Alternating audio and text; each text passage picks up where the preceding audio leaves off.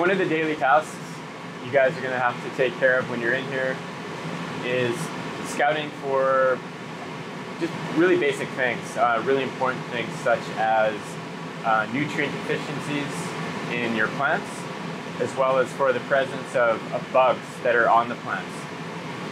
In terms of nutrient deficiencies, all you need to really worry about is if you're seeing anything like yellowing leaves, maybe brown edges along the outside of the leaves, maybe you've got some some leaves that are completely falling off at the bottom, um, things like that. If you see anything like that, all you need to do is take a photo of it, make sure Growcer sees it. You can also send it to Green Planet Energy Analytics, and we'll figure out the problem. In terms of bugs, again, same thing. If you see any bugs, take a photo of it, send it off to, to either Green Planet or, or Growcer.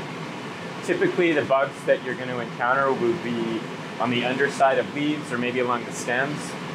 Generally, they're not going to be really flying around the, the system itself. So it's really important for you to, to look at the plants themselves closely. You don't have to look at all of them, obviously, but just, you know, as you're, as you're walking through the system, keep an eye on things.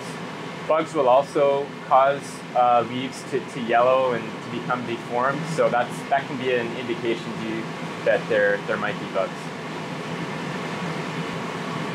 So we're going to talk about fungus gnats, and the reason we're going to talk about this particular bug separately is because it's unique in the sense that it doesn't really cause too many problems for the health of your plants, um, but they can be a real annoyance, and they're the most likely bug that you'll encounter in the system. Um, fungus gnats look like really tiny black flies. They, they tend to fly around quite a bit. They're really attracted to surfaces that are consistently moist. So the tops of your grow cubes would be a perfect example of that. Grow cubes, when they're moist and uh, constantly exposed to light, will also grow algae, which is a food source for fungus gnats. So just be aware, you're going to see a lot of like black flies throughout the system periodically. Um, it's just a reality for, for indoor farmers around the world. What we're going to do to control them is we're going to hang what are called yellow sticky traps.